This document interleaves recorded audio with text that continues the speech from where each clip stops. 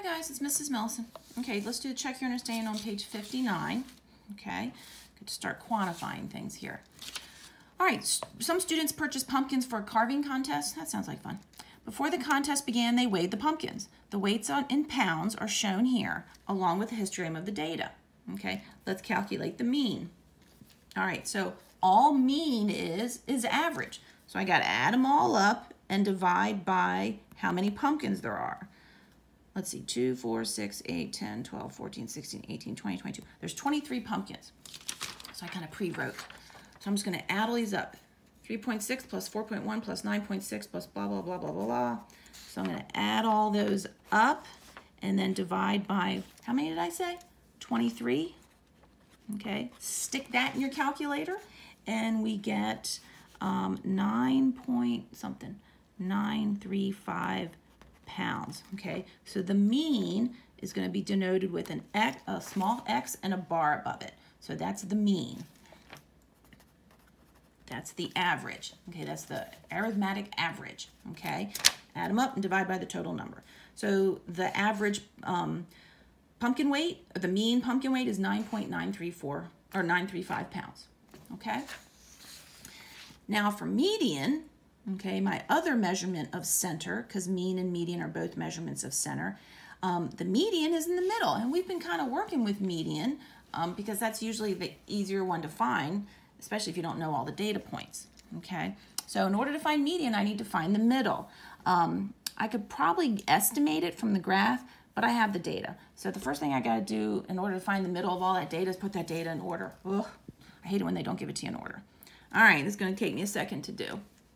Okay, so I got 2.0, uh, I think there's another 2.8, um, let's see, 3.4,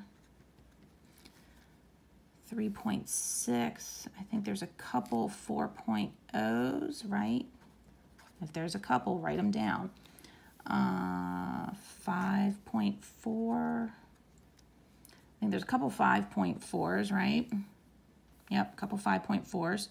Um, couple 6.0s, right? And a 6.1. 6.1. And then I'm going to fold this up so we can see if you don't mind. And then let's see. I think I got a 6.6. I'm running out of room to write all in one line. Um, I don't see any sevens or eights. So then I got a couple 9.6s, right? Uh, don't see any 10s. Got 11.0 and 11.9. Um, got a couple 12s. Let's see, 12.4, 12.7, right? And then I got a 13 and looks like a 14 and looks like a 15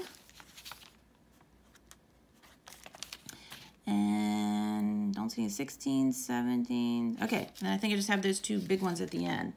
31.0 and 33.0 okay um, so to find the middle how many are in here again? I had a sample size of 23 so let's see, if I do 11 in from each end, that's 22. So it's gonna be the 12th one in, right? 1, 2, 3, 4, 5, 6, 7, 8, 9, 10, 11, 12. Or I can count from the other way. 1, 2, 3, 4, 5, 6, 7, 8, 9, 10, 11, 12. So there is my median. So my median is 6.6 pounds, okay?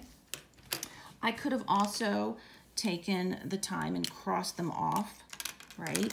I could have crossed off a high end and a low one, a high and a low, a high and a low, a high and a low, until I got to a low and a high and a low until I got to the middle one, okay? But being able to count in is gonna be more useful later on especially when you're dealing with much larger data sets and you know, like on a histogram or something like that. So you know, the middle of 23, I'm going to count 11 in from both sides. So that's 22. And then the, the 12th one is, the 12th one is the median. Okay. So now my median is 6.6 pounds. Okay. Um, while we're in here, while we've got everything in order, let's check it against our histogram just for the fun of it. So I should have six pumpkins between zero and five pounds, not including five pounds. So one, two, three, four, five, six. Yep. I should have eight pumpkins between five and 10 pounds. One, two, three, four, five, six, seven, eight. Yep.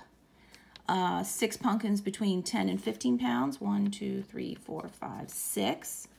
Uh, one pumpkin between 15 and 20 pounds. And then there's my two pumpkins between 30 and 35 pounds. Okay, just thought we'd check that.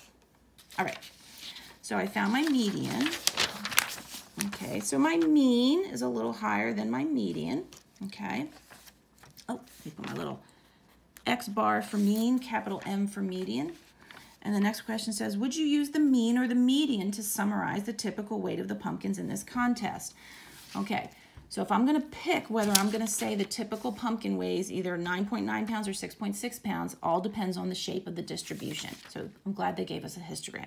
The shape is skewed, it's skewed right, um, little gap right there, could be, could be some potential outliers, single peak, um, but it is right skewed. It is skewed. So whenever we have a skewed distribution, we're going to use the median for the typical value, okay? In a skewed distribution, the median is a better indicator of the typical value in that distribution um, because median is not impacted by any kind of extreme values, okay?